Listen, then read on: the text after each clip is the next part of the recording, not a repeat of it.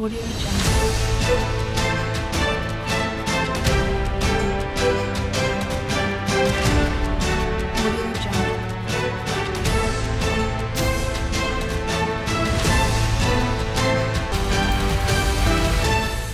नमस्कार, आप देख रहे हैं टुडे 24 न्यूज़ मैं हूँ आपके साथ सपना मदेशिया।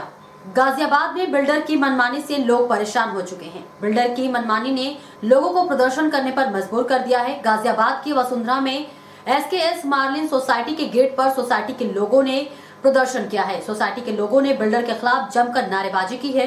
और मांगे पूरी नहीं होने पर भूख हड़ताल पर बैठने की चेतावनी भी दी है। करीब दो घंटे हंगामे के बाद पुलिस ने दीपक की तहरीर पर आरोपी फहीम और उसके एक दर्जन साथियों के खिलाफ गंभीर धाराओं में मुकदमा दर्ज कर एक आरोपी फहीम को गिरफ़्तार कर लिया। विजयनगर के प्रताप बिहार निवासी दीपक कुमार का कहना है कि बृहस्पतिवार को वह जीवन ज्योति अस्पताल के पास स्कूटी ठीक कराने के लिए गया था। आरोप है की जैसे ही वह स्कूटी ठीक कराकर चले, तभी फहीम और उसके साथियों ने दीपक को रोक लिया और पीटने लगे। हमलावरों ने बीच सड़क पर दीपक के साथ न सिर्फ़ मारपीट की, बल्कि उनकी स्कूटी व मोबाइल भी तोड़ दिया। दीपक का यह भी कहना है कि फहीम और उसके दोस्त मिलकर उसकी पिटाई करते हुए बार बार बोल रहे थे कि तू बहुत हिंदुओं का नेता बनता था, आज हम तुझे नेता बनाएँगे। वही इस मामले में पुलिस का कहना है कि पीड़ित की तहरीर पर मुकदमा दर्ज कर लिया गया है। कुछ आरोपियों की गिरफ्तारी हो गई है, बाकी आरोपियों को भी शीघ्र गिरफ़्तार कर लिया जाएगा। नाम है आपका? मैं राम कुमार लखा आठ सौ नौ में रहता हूँ। अच्छा आज आप प्रदर्शन कर रहे हैं किस जगह पर है और किस लिए है? हम एक्स एस के जी होम के गेट पे खड़े हैं अपनी सोसाइटी के गेट पे खड़े हैं। सेक्टर तेरह वसुंधरा गाजियाबाद।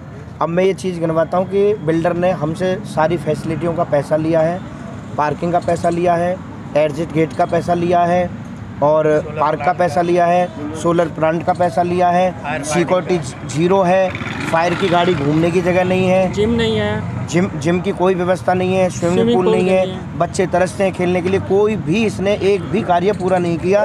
बाहर के बच्चे आते हैं अंदर के बच्चों को पीट के चले जाते हैं। अभी तीन महीने पहला केस है। कोई अच्छा, अच्छा सिक्योरिटी कितने टाइम पीरियड से आप यहाँ पे रह रहे हैं? मुझे करीब ढाई साल हो गए यहाँ अच्छा तो तब से शुरू से फैसिलिटीज़ नहीं है शुरू से फैसिलिटीज़ नहीं है। अच्छा बातचीत करी बिल्डर से बातचीत हम करते हैं। मेरे हिसाब से 10 से 15 लीटर वो साइन करके दे जाता है। लिखित में देके लिखित में दे के जाता है और कोई काम नहीं करता। बहुत ही अब आप क्या चाहते है। हैं? हम ये चाहते हैं हम सरकार से भी ये चाहते हैं प्रशासन से भी चाहते हैं आप लोग पत्रकार लोगों से भी ये चाहते हैं कि हमारी बात रखी जाए और इस बिल्डर से हमारी एम्यूनिटीज़ के ऊपर कार्य करवाया जाए। अगर ये या तो हमारा कार्य करे या फिर इस पर केसबाजी हो और सरकार प्रशासन इससे काम कराए। अच्छा कितने परिवार रहते हैं यहाँ पे? इसमें अ, 150 से अ, 160 परिवार इसमें रहते इसमें हैं 600 लोग टोटल रहते हैं। यहाँ पे।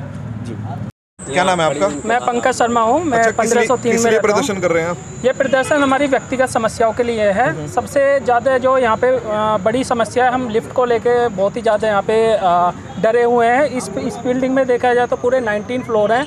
19 फ्लोर से अगर कोई नीचे ग्राउंड फ्लोर पे आ रहा है चार बार लिफ्ट बंद होती है चार बार झटके लगते हैं जिसमें बच्चे भी होते हैं बुज़ुर्ग भी होते हैं सत्तर साल के लोग भी हैं अस्सी साल के लोग भी हैं चार साल के बच्चे भी हैं सब इतने डर जाते हैं कि लिफ्ट में घुसने से डरते हैं। लिफ्ट ऊपर से नीचे आती है झटका लगता है बहुत ही ज़्यादा गंदा एकदम डरावना हो रहता है। मतलब जान को खतरा है पूरी जान को खतरा है पार्किंग की सुविधाएँ नहीं है यहाँ पे स्विमिंग पूल नहीं है जिम नहीं है सिक्योरिटी नहीं है। पूरी जो हमारा पूरी जीवन भर की कमाई हमने इसमें लगा दी। सारी जगह हम कंप्लेन कर चुके हैं लिखित में हमें देखे जाते हैं कोई समस्या का अच्छा समाधान नहीं देखिए है। बिल्डर से आप बातचीत कर रहे हैं निष्पक्ष कुछ नहीं निकल रहा है। तो अब आगे क्या कदम उठाएँगे? आगे यही कदम उठाएँगे कि या तो हमारी मांगे पूरी करो वरना हमें फिर प्रशासन के थ्रू जाना होगा। हम अपनी मांगे हमें आगे रखनी धरने पे होगी। बैठेंगे। धरने पे बैठेंगे। अगला धरना इनके घर के सामने करेंगे।